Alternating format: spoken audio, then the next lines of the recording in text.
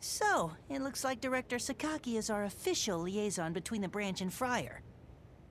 I guess that means it's up to us to handle all the personal relationships inside the branch. we got this. Oh, yeah. Hey, dude, if you could do like one thing for me, don't don't be all formal, yeah? Calling me captain and stuff, it still sounds kind of weird. Let's keep it casual, all right? Like, hey, Kota, what up? Awesome. That's mostly what I like to hear. Oh, hey, you down to grab some food after the mission? The restaurant here is top notch. That'll be my treat. So what do you say we go smash these Aragami and get to the delicious part?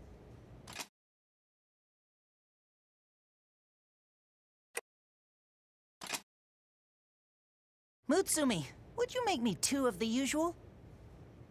Coming right up, Mr. Kota. You want it double sized too? You know I do. I don't know if you know, but this girl right here is Mutsumi Chikura. She is more than just a chef. She is a miracle worker. We used to eat all this bland crap. Field-safe rations and Fenrir-made giant corn products. All that changed when Mutsumi arrived. Real quality comfort food, just like my mom's recipes.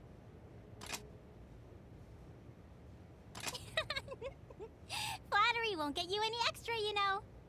It's not flattery, I'm serious. The restaurant's been way busier since you arrived. Everyone says so, really. They say it's like eating at home again. That's sweet, Mr. Kota. Maybe you'll get a little extra after all. Here you go. Sorry for the wait, but I really hope you like it. Oh, sweet, it's ready! Chow o'clock! Oh my gosh! Mm, it's so good, right?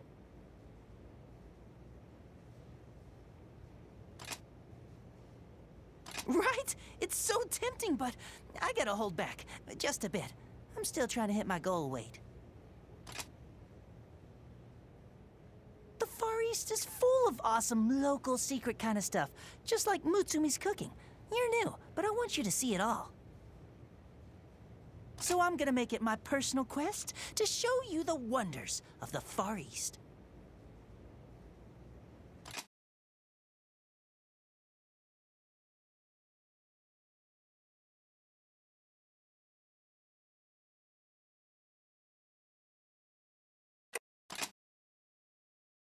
Hey, Hibari, you rocked it today.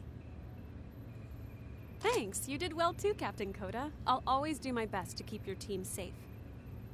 Total honesty, it's really all thanks to you that the first unit makes it back to the den unscathed. I'm proud to be a part of it, Captain. I'm here to support so you can fight without fear. On that note, I've noticed some inconsistency of late in the first unit. Is everything well? What? Uh, um, no. No, we're good. Totally good. Thanks. How are you? Oh man, it's just crazy long story. I'll tell you another time. Uh, moving on now. Oh, look at the time. It's half past mission. Uh, let's go. Fight well, Captain. Return to the den safely.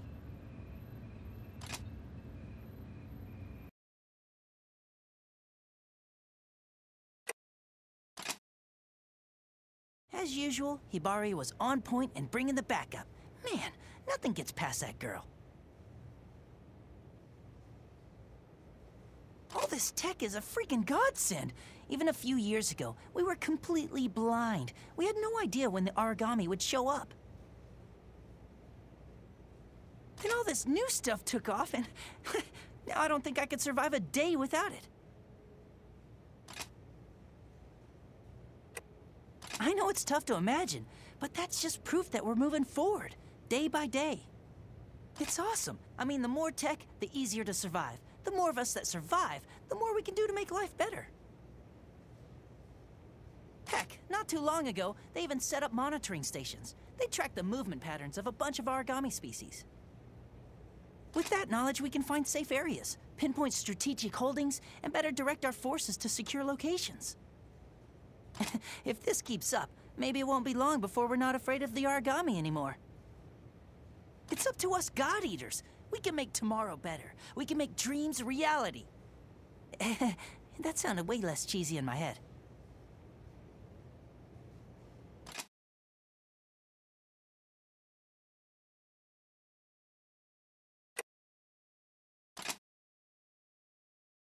These ramparts are the anti-Aragami wall. It's a shield for the people inside the den.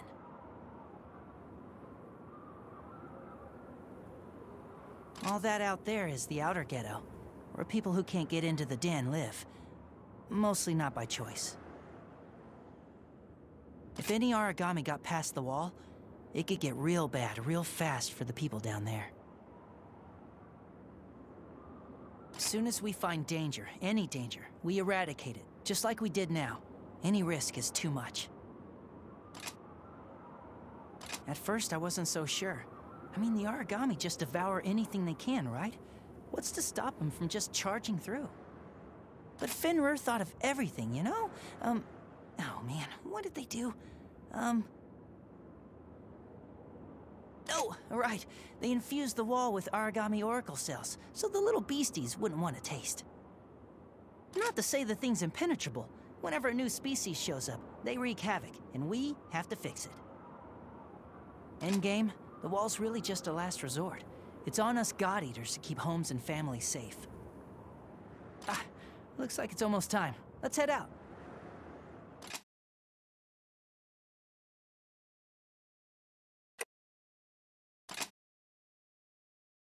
Bet you didn't know that my family comes from the outer ghetto. In fact, right over there. I don't know if you can see it, but that's my house. The tiny one. See the shack two houses down? When I was a little kid, the old man who lived there used to terrify me.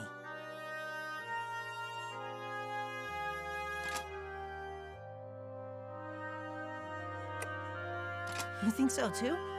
Who am I kidding? Of course you do. I'll take you around my old haunt sometime. You've got a real warmth, you know that? It actually really reminds me of my best friend. You see, all my friends from when I started are on a far-off mission now. It sounds weird, but they understand how important they are. But me, I don't think I'll ever leave here. My family's here, my squad. And one day, when the mission's over, my friends are coming home. I, I want to protect this place. Not just for me, but so they have somewhere to come home too. oh man, I've just been yammering on, huh? Anyway, point is, I think we've got a hell of a job here.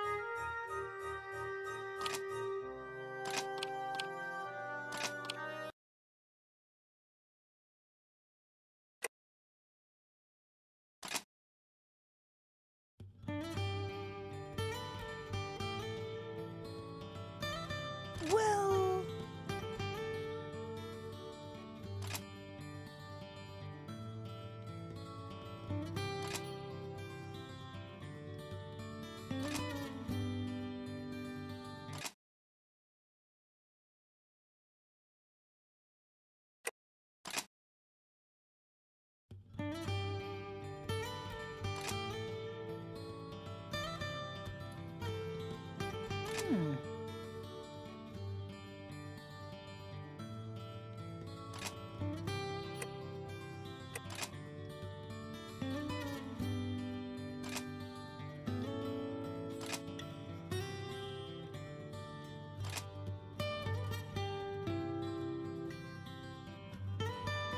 Phew.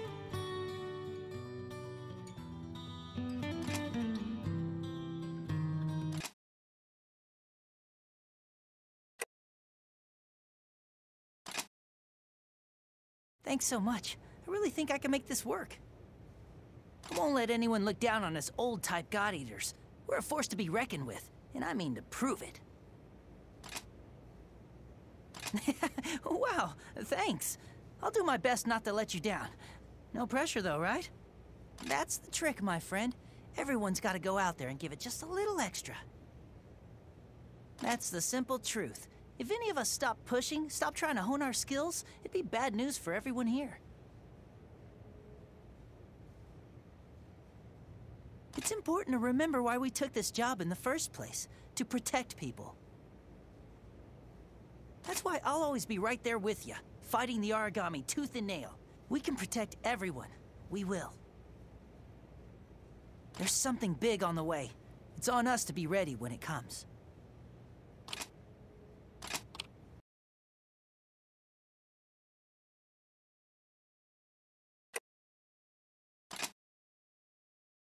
Pardon me, Captain Kota? There's a message for you from the outer ghetto. Huh? I'm just about to head out on a mission. They asked specifically to speak to you. They were unyielding on that particular point. Uh, all right.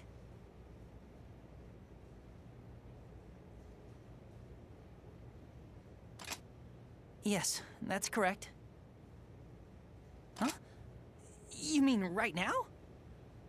Okay, okay, got it. I'll come as soon as I'm done with the mission. No, it's fine. Leave defending the city to me. T? No, no, I'm fine. All right, see you soon. It's okay. Not a problem.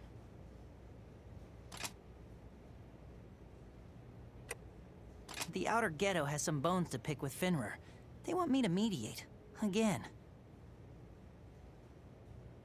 No worries. It's the same problems every time. I'll take care of it after the mission. But that means we gotta get a move on. Let's go.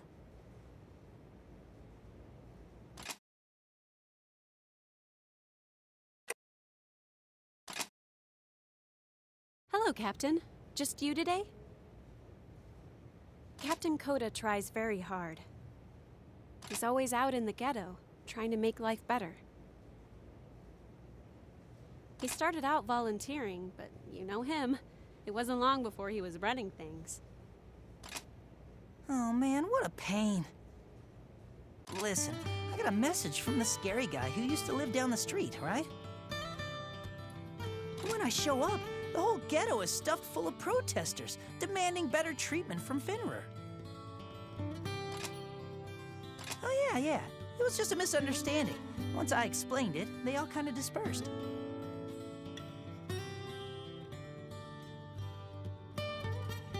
Making a life out there is better than it was, but it's still not easy.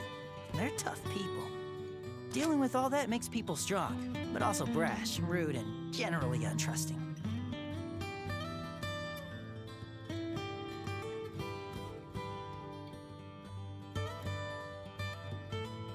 But I still love them. Oh, hey! What do you think about visiting my old house? I want to introduce you to my family.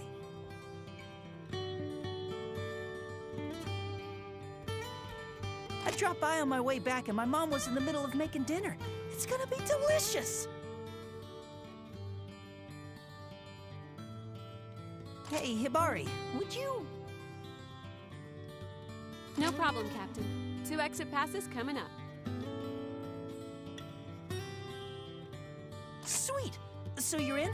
My mom's an amazing cook, I promise.